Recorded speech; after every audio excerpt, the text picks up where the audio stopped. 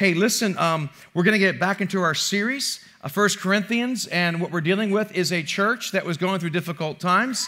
I don't know if you guys ever have experienced problems with people. No. Okay. So we're getting into that. And so, and actually, next week, we're going to talk about sex. Now I got your attention. and we're not going to talk about it because I want to talk about it. It's because the Bible talks about it. We're going through the book of First Corinthians. The Apostle Paul is dealing with a church that is functioning in all the spiritual gifts. They're doing amazing things, but they're living a dual life. And so we'll be talking about sex next week, what it means to be married, not next week, but in the next part of the series. We're going to be talking about married, single, divorce, the whole thing. It's going to be talking about sex, the whole thing. And it's going to be starting next week. And, and I love it because it talks about it. Sometimes I don't want to talk about certain topics, but when you preach through the Bible by books, you have to hit topics you don't want to talk about. So that's next week. Oh, before I forget, before I get into that, I also want to uh, encourage you all to be praying for our country during this time. Uh, the elections are over. Maybe you're elated or deflated based on what happened. But this is the good news that Jesus Christ is always on the throne, not the Democrats or Republicans. Our identity is not wrapped up in a political party. Remember that, everybody. And so we have to speak truth. Never compromise your values because of your political party. We have to speak to the political parties. We got to pray for those in authority over us, and we have to speak to it. Amen? So, all right, now the Bible says, first of all, I urge men and women to pray everywhere for those in authority over us. So I want to take a few moments to go ahead and do that in a time of division. So, Father, we thank you for the United States of America. We thank you for our country. We thank you for the freedoms we have to live in this country. And Father, we thank you that we're able to be here today. Lord, we are praying that you would continue to bless the Biden administration, Father, as they have to finish up their term by the end of the year, by January 20th. And Father, we also praying that you'd bless the, the uh, Trump administration as it comes in. Lord, we are praying that we would model what it looks like to be good citizens, Father, that we do not identify with the political party, we, but we identify with the kingdom of heaven. Father, I pray we'd speak, we have courage to speak the truth in love to those in, part, and those in authority, Father, and that we be good men and women. And Lord, that we would model what it looks like for people to get together and make a difference of Jesus Christ and not political parties. In Jesus' name we pray. Amen. All right, let's get back to what we're talking about. So there are a lot of divisions, kind of like today, right? A lot of divisions going on. And what was happening in many ways, Pastor Randy did a great job last week talking about it. He started chapter four. We're going to continue. You want to open your Bibles to uh, 1 Corinthians chapter four. And this is, the, this is the issue. All of us want to get it right in life, right? We all want to do well. Who doesn't want to do well in life? We all want to do well. I don't care if you're in junior high, you want to be known as someone who's important. If you're in senior high or, or high school, you want to be seen as someone that is not a fool but is cool, right? Let's be honest. We want to go to the right college, get the right job, and, and so we all want to get it right. And then when you're in college, you, you want to have the right major, you want to find the right person, you want to be seen as someone that's important. And, and, sometimes it's tough. Do I measure up to those around me? And as you're, you're, as you're deaf scrolling, it seems like everyone else is getting ahead and you're not. It seems like everyone has a date on a Friday night and you're faking it.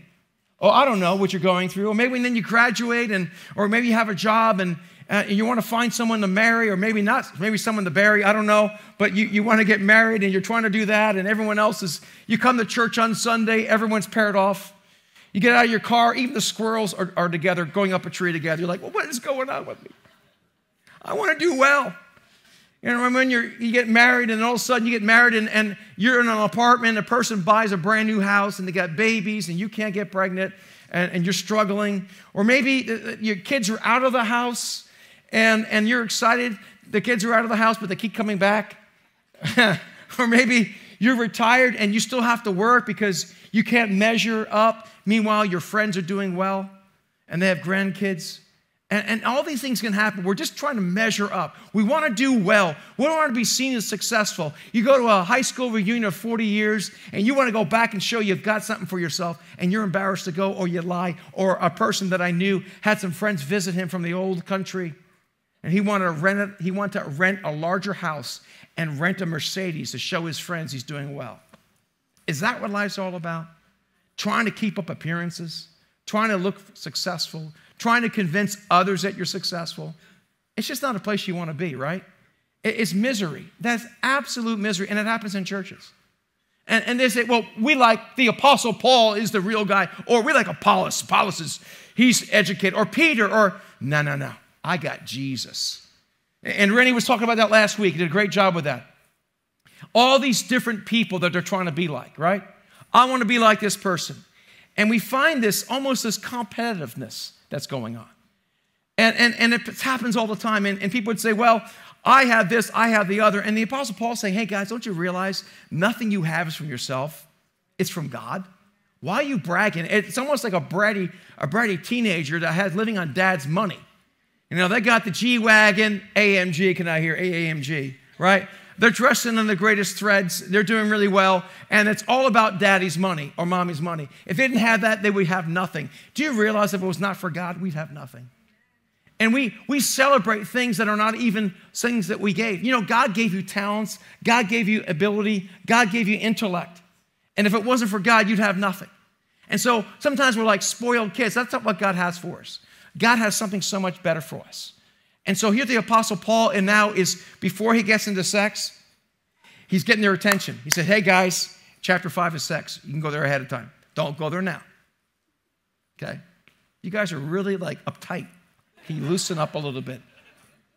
I'm telling you the truth. And so what he's doing is he's talking to the church here. And he's, he's telling them what's going on. There's so many things going on. So much division, so much anointing, so much annoying. Sometimes it's hard to tell between the anointing and the annoying. Some people call the annoying the anointing, and it's not. And so here he is talking. Let's get right into it right now. In this whole issue, he says this.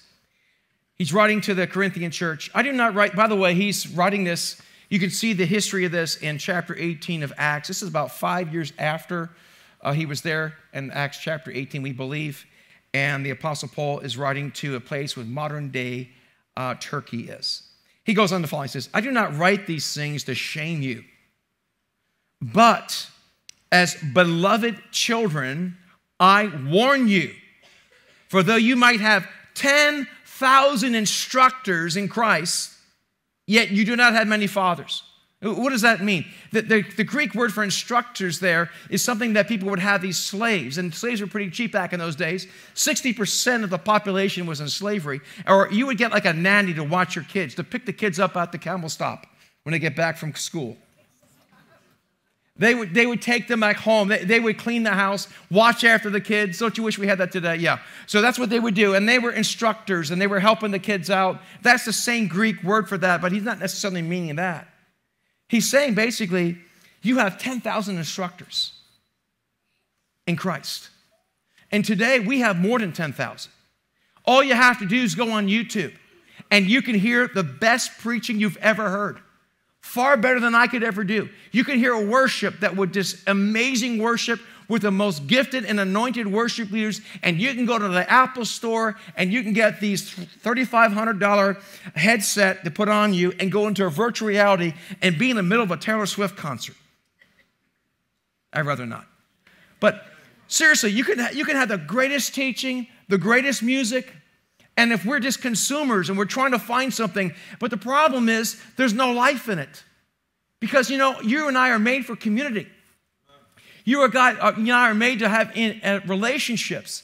And he says that you have 10,000 instructors in Christ, yet you do not have many fathers. What does a father do? What does a mother do? They speak to the children, they help raise the kids, right? So I can be entertained by many things on the internet, great things, not even bad things. And so I, I, just want to go with the, the anointing is. I want to go to the greatest, greatest music and the greatest, coolest pastor and the coolest church. And there's great churches in the area. We thank God other churches are growing. But it's not about that. It's about there's no fathers. What does a father do? What does a mother and father do? The Bible says, faithful are the wounds of a friend, but an enemy's kisses are profuse. You see, I, I don't want accountability. I just want to do my own thing. And then during COVID, we really got into the, the, our little silos of isolation, right? We Netflix binge and watch all the Planet of the Apes movies. Can I hear an amen? and we watch all these movies and watch all these videos and we're scrolling all the time. Listen, I do it too. I start scrolling, I laugh, I enjoy myself. I'm by myself. Shh, quiet, quiet. My family's right there with me. I'm telling them to shh. Then the kids do that, and I go crazy. My wife goes, um, You do the same thing? Okay. So you're sitting there scrolling through it, but there's no relationship. You see, what it's like is all these sermons and this worship is like chewing gum. You can constantly put chewing gum in your mouth and it tastes good. You're chewing on it, it tastes good. You blow bubbles, but you're getting no nutrition because there's something that's not really working in your spirit. You and I are built for relationships. In fact, there's been studies done. This is amazing. I was reading about it. I didn't believe it at first, but I doubled and triple checked it. That you realize that your heartbeat, of course, I don't know if you realize this, but your heart is beat by electric by electricity and your, in your mind gives electric impulses, and your, your heart will beat. It has a certain rhythm and it communicates. And according to studies, a growing body of evidence that another person can sense your heartbeat from 10 feet away.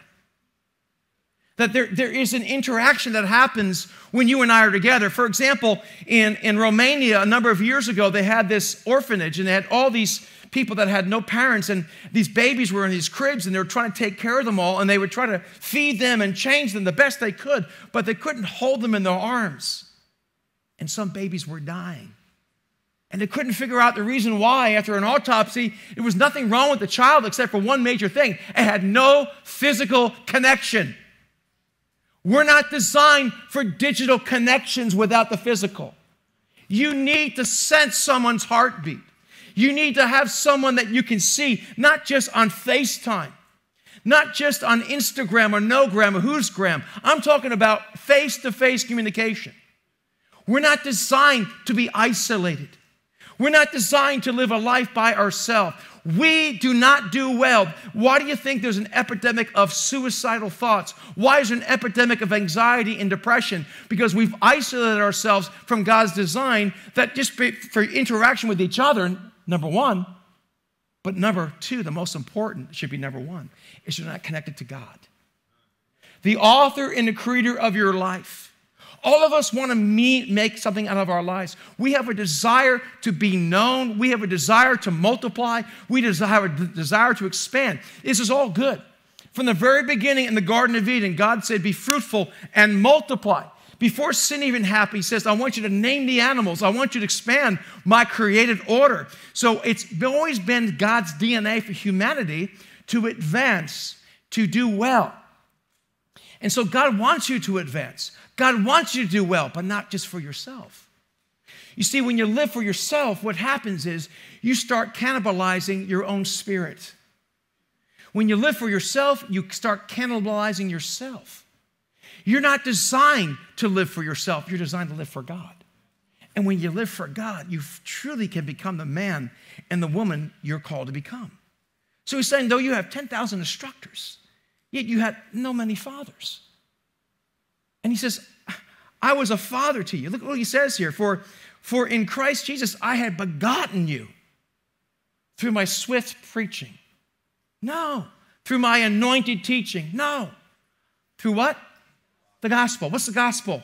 It's the gospel is Jesus Christ dying on the cross, rising from the dead. That's the gospel of Jesus Christ that you can come in communication with it. Listen, I know these other slicksters out there that are out there that are so impressive. You love them, you're on the webcast, you even give to the ministry, but they don't know who you are. They don't know what's going on in your life.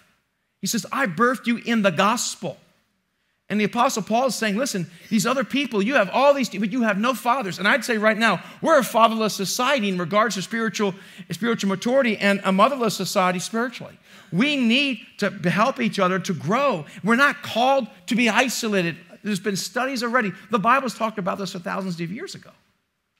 And now we know how unhealthy it is. You know, he goes on in Galatians 4:19, a parallel passage says this: My little children, he calls them for whom I labor in birth again until Christ is formed in you. He says, I labor in birth that Christ is formed in you. Now, guys, how many people know you really can't be friends with your kids? You really can't until they're 30 years old or 25 and they're out of the house. Now, when they're young, it's fantastic. When they're three or four years old, Daddy, they all run and jump on top of you. You think you're a rock star. It feels awesome. It's, it's fantastic. And then all of a sudden, estrogen comes in and testosterone comes in, and they don't care about you anymore. That's when it's time to buy a dog. Because at least the dog will appreciate your home. If you buy a cat, it will hiss at you and scratch you. So, but seriously, I mean, it's like, right? And, people try so hard to be friends with their kids. You can't be friends with your kids. You got to be their a loving father or mother. Sometimes a father has to say something, or a mother has to say something to the kids they do not want to hear. And yet we want to be friends. And this is how we are spiritually. I don't want them telling me what to do. I do whatever I want to do. And if I don't like what they're saying at that church, I'll go to the next one. I didn't like that song today. I'm going to another place. And it's all about consumerism. It's all about what? We all become consumers. Consume, consume. We all become takers. It's never enough.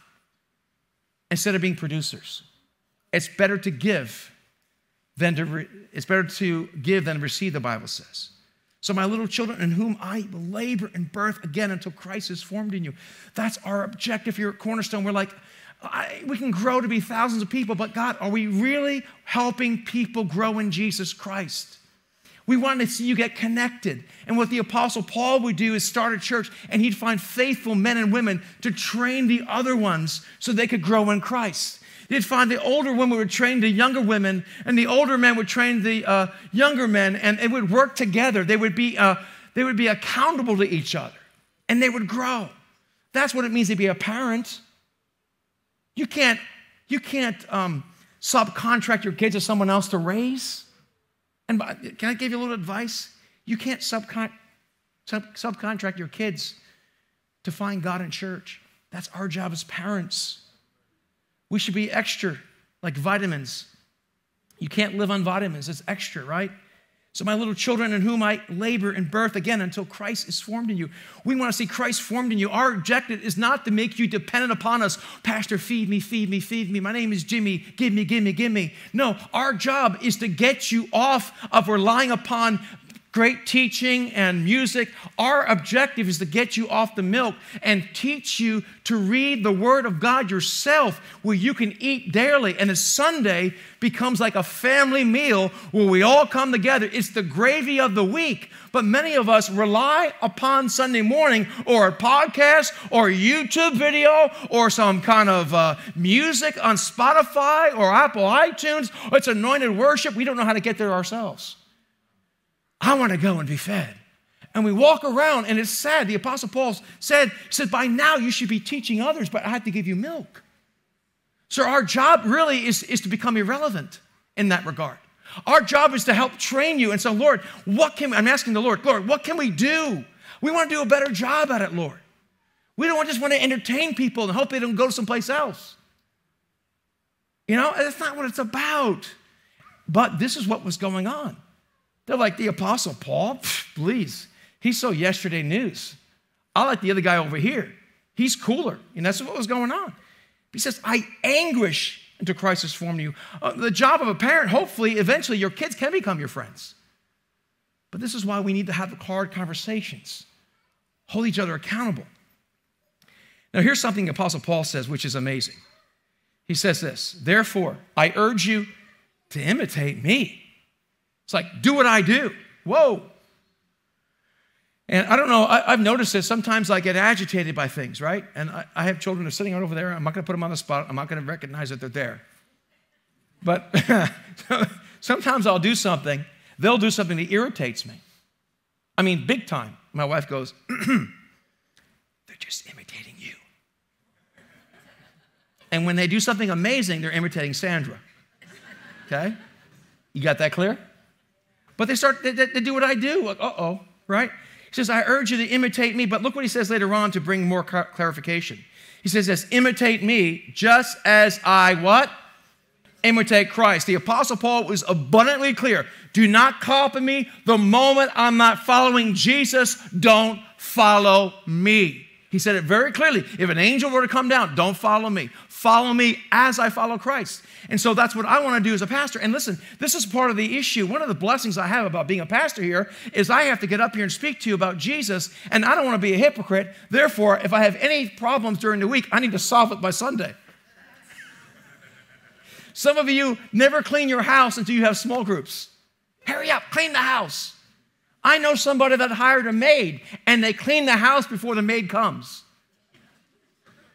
You guys aren't laughing, so you do it. Okay. He says, imitate me just as I imitate Christ. And so we want to be examples, right? And so it's really a blessing because it, it causes me to sacrifice my own needs and wants to be a blessing to my family and to be a blessing to you, right? And it requires me to have responsibility and sacrifice. Responsibility and sacrifice and giving make a life worth living. When it's all about consuming, it will consume you from the inside out. Imitate me just as I imitate Christ. Wow. That takes relationship. You see, the problem is you and I rather follow, the kingpin than the king. That's my Uncle Louis right there.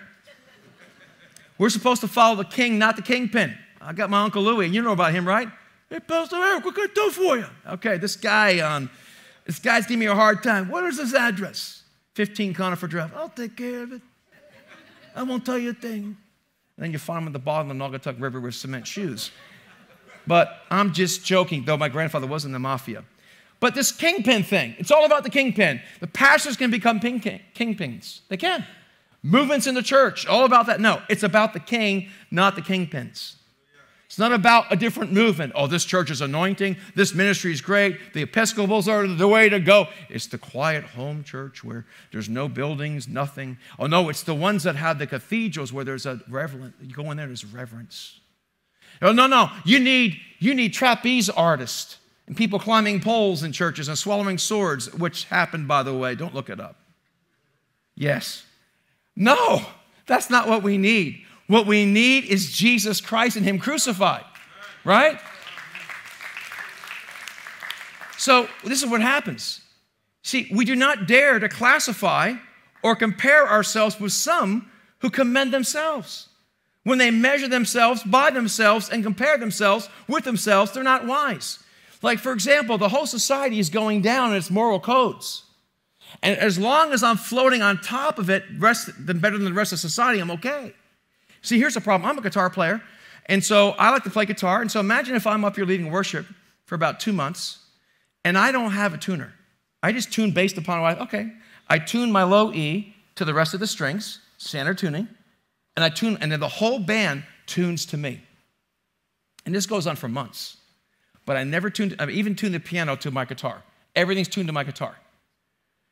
Now, what happens is there's a standard called 440. It's where we, we that's the 440 is how we tune everything. So someone comes in from another place and says, You're not in tune. I'm in the key of D. We're supposed to be in the key of E. I'm in a totally different, I have a dissonance. So God has a standard tuning in heaven. And we don't tune ourselves based upon what your tune is, it's Lord, the Lord Jesus Christ. The problem, has, the problem has happened is we tune ourselves based upon each other. This is why we had a society that owned and abused slaves in America. This is why we had racism in America. This is why we've had all sorts of horrendous things in our culture that the church turned a blind eye towards because our standard was not the Lord Jesus Christ, it was what each other was doing. It's a recipe for destruction. So we do not dare to classify, compare ourselves with some who commend themselves when they measure themselves by themselves or compare themselves with themselves. I mean, nothing good. Comparing leads to despairing. It does. Nothing good comes out of comparing. Maybe I'll compare myself to yesterday, but even that's not. God is my standard, not my neighbor, not the podcaster, not the guy that has an, the, the guy with the big church or small church, not the guy with the rich church who flies around on a jet, not the guy who goes around on a pinto. It doesn't make a difference. My standard is the Lord Jesus Christ is yours as well. Comparing leads to despairing. Either you'll think you're better than somebody else, or you'll feel like trash, or you won't care. All of us despair. We should be helping each other, encourage each other to run greater than we could before. You see, what the Apostle Paul did, In the next verse, he says this For this reason, I have sent Timothy to you. Why? He's raising these children in the Lord. I care about my kids. I'm going to make sure they get trained by someone, my own son, Timothy. And my friends, you and I need to be on the lookout that wherever God's placed you, we need to find someone we can encourage in the Lord. And we need to find someone that can help mentor us. We mentor someone below us and someone alongside of us. Those are the three relationships that you and I should really be in. That brings growth to us, right? For this reason, I've sent Timothy to you, who's my beloved, faithful son. Listen to that. He calls him a son in the Lord, who will remind you of, of my ways in Christ as I teach everywhere in every church. You see, now some are what? Puffed up. Oh, we got the best of the best. Oh, we, our church, we gave $25,000 to the people. What did you give? I gave two million. Oh, that's great. Uh, you know, I, this happens to me. I go to a pastor's meeting, right? And they ask, the pastor's meetings are funny. It's just like a sales meeting. He said, how you doing? My name's Eric. How many are running? And Pastor Tom taught me this one. Pastor Tom said, people ask me how many I'm running. I say, I'm running them all. How many are running? I'm running them all. Because you want to size someone else up oh, I'm better. Let me go with the people that have the larger church or the smaller church. Guys, this happens among past, I hate to tell you. We compare ourselves to other people. I thank God that Elevate Life is doing well. I thank God that Vox Church is growing. I thank God for Black Rock Church is growing. I thank God for the one over there. I can't remember the name of it anymore. Sorry. But I, I thank God when churches are growing anywhere for that matter, right? Praise God. Praise God. I think it's fantastic. I think it's fantastic that churches are doing. I thank God that New Life is church is doing well. We love the New Life in Trumbull. I could go on and on about all these churches that are doing very well. Praise God for that, right? We're not competing. We're completing each other. Uh, they can reach people we can't reach, and vice versa. And so, if we start competing against each other, how stupid is that? But that's what happens among pastors. Of course, you guys are not that way. You're more mature than the pastors. But some of are puffed up as though I were not coming to you. They're puffed up in themselves. What the Bible says about that. But knowledge puffs up, but love builds up. When it's all about what I can do and how much I know and how much I own, who I am, look at the job I have, look at the school I have, look at the friends I have, look at the car I'm driving, look at the clothes I'm wearing, look where I'm retiring to. Oh, look at all these things I have. I know this, I know the other, and you're all puffed up. But the problem is like a paper mache boulder. All it takes is a pin, pop and a moment's notice, you could be dead. Yet, love builds up. And when love builds up, nothing can break it. It's a boulder of God's strength in your life. When the pins of life try to, try to take the air out of your life, they can touch nothing. As the great prophet MC Hammer said, can't touch this. but knowledge puffs up while love builds up. Listen, what would happen when you meet somebody, instead of saying, hmm, I wonder what they think about me? Am I good looking enough? Am I smart enough? Is my church as large as the other pastor's church? Or uh, do I, my kids, how about this? Gee, I wonder how they're doing. How can I bless them? How can I encourage them? How can I light a fire? How can I throw another piece of wood in the fire of their heart to encourage them? How can I be a blessing to this person?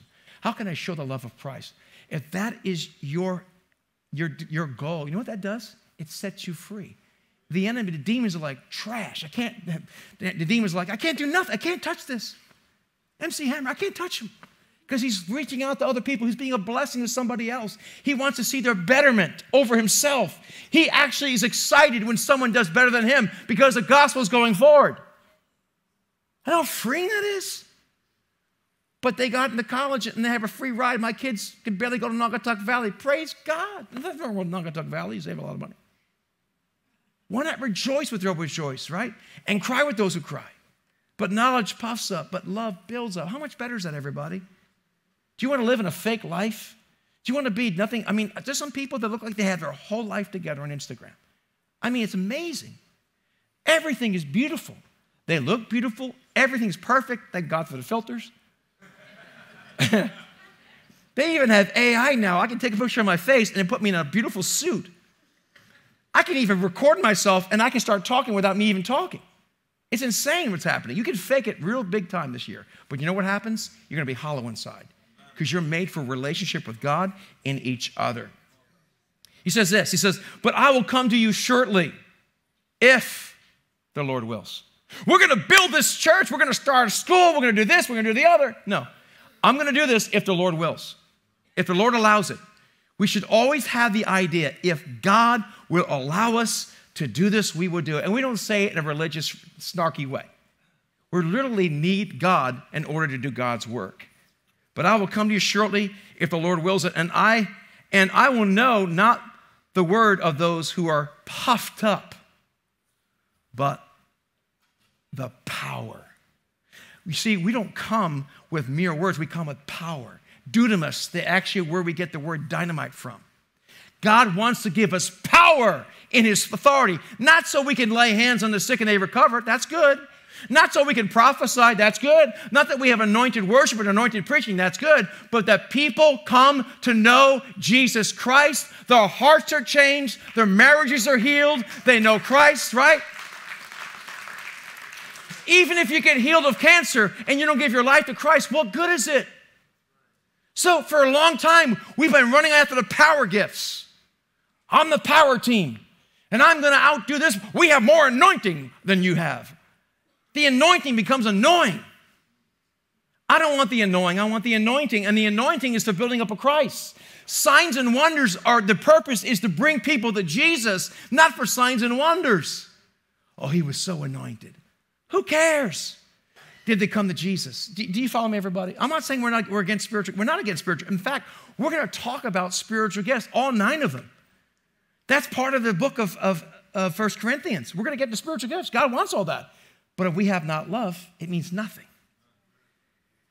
What does love have to do with it? Everything. You see, when I come to you shortly, if the Lord wills, and I will know not the word of those who are puffed up, but the power. You see, for the kingdom of God is not of words. How talented you are, how eloquent you are. And by the way, how anointing you are. Do you know the Bible says, Jesus says, many will come to him in that day, say, Father, we prophesied in your name. We cast out demons in your name. You need to go like this way. He's going to say this Get away from me. I don't even know who you are. Just because you have a psychic healing, just because someone gives you a word doesn't mean they're of God. Do you follow me, everybody? We don't worship the gifts, we worship the gift giver, and that's God. For the kingdom of God is not of word, but in power. He goes on to say, said, What do you want? Shall I come to you with a rod or in love and a spirit of gentleness? See, the Apostle Paul cares enough to say the hard words. Is there anyone in your life that can speak hard words that's not trying to tear you down? I perp I actually, you know what I found out? I've seen a lot of pastors and a lot of ministries fall. This is what I found out. Unless you're willingly to voluntarily to make yourself accountable, it's not going to work. So I literally go out of my way to find people that hold me accountable. I have someone hold me accountable how I run the church. I have someone hold me accountable on my spiritual disciplines. I have someone accountable with uh, how I am sexually. Am I being pure? I, I, have to, I have to search these things out. Why? Because I want to be everything God's called me to be, and I can't do it by myself. We need each other, everybody. You see, he says, Shall I come to you to rod or in love or spirit of gentleness? So, what do we need to apply today? What do we do? Well, follow the king, not the kingpin. Can we do that, everybody? I don't care how great something is, follow the king, not the kingpin. Comparing leads to despairing. It really does. Stop comparing yourself to other churches, other people, other marriages, how they look. I can't believe she's 40. She looks like she's 20. Only on Facebook. and, you know, you see, and here's another one. You see, the role of teachers versus fathers. You can't be a teacher. You see, a teachers instruct, but fathers in, invest relationally. Are you investing in anyone relationally? First of all, let me say something very important. Number one priority is you and God. Second priority, if you're married or have family, is your family. Third priority is those in the church. Why? Let me explain. If you can't do it here, you can't do it out there. The Bible says, Father, let them love each other as you and I love each other, that the world would know that I was sent. When the world sees a functioning, biblically run community, they say, I want that. Out of that strength, out of that practice, we go out there and make a difference simultaneously.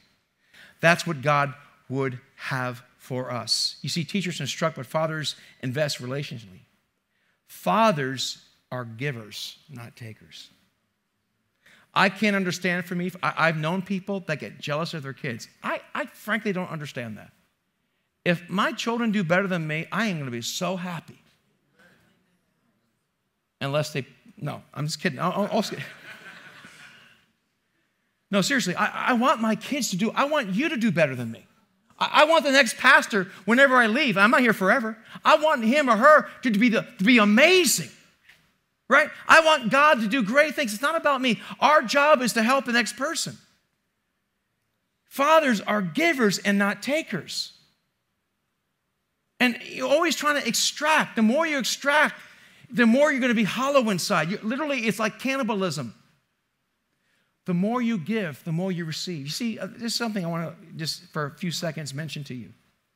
There's two types of people in the world, generally speaking, or two types of Christians. They're giver Christians and taker Christians. I don't want to be a, a taker, I want to be a giver. Now, I want to receive with thanksgiving. See, God wants us to be like a river, a raging river. A raging river has water running into it running through it and going to the other side, right? That's, that's where life is. But when you, when you start becoming a consumer, you know what happens? You get scum on you, called pond scum. Remember the eighth grade, the paramecium?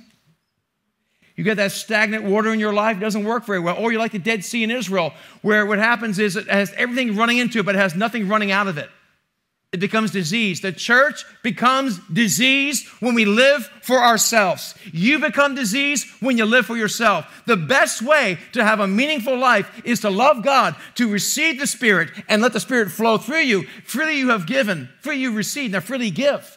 Our job is to take the blessings that God has given us and pass it along. If God can entrust you to give to others, He'll give you more, not to spend it on yourself. And that's real living. It's called sacrifice. Boy, you guys are really help. You guys are a hard crowd today. I don't need it, but you can help me preach a little bit. Let me know you're getting this because this is good. It's the word of God.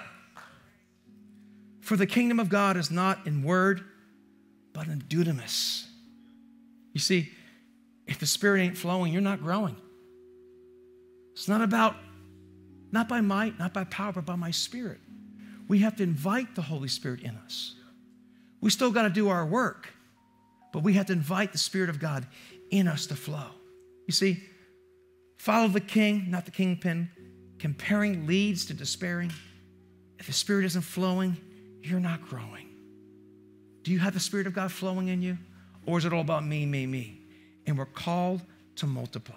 I'm going to ask you to bow your heads for a second. Father, we just thank you so much for this opportunity, Lord, to come here together. Lord, we want to be a strong church. We want to be a strong people. Lord, deliver us from comparing ourselves to other people. Lord, deliver us from the despairing of comparing. Deliver us, Father, for trying to follow the kingpin instead of following you, our King. Lord, we want to see you realized in our lives. Father, would you set us free of living a hollow life? Father, we realize only what we do for you lasts forever. Father, I thank you for these great men and women that are here today and those watching online. I ask your anointing to be upon them, Father, that we would be a strong church, a growing church that's accountable to each other, that grows together, that goes together, and makes a difference in the world. Father, deliver us from mediocrity, deliver us from a consumer mentality. Let us be givers and receivers in Jesus' name.